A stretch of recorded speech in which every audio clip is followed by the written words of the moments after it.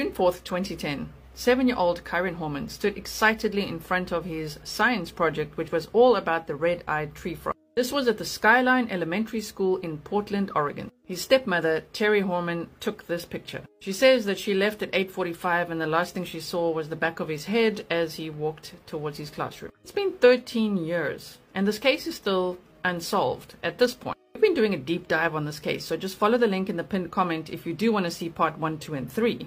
There's a $50,000 reward for information leading to finding Kyron. Age progression photos have been shared throughout the years, and you can see on the bottom right here next to me, that is the most recent one. Kyron would be 20 years old now. Please share Kyron's story far and wide. It's never too late. You never know what little piece of information could really help to solve this case.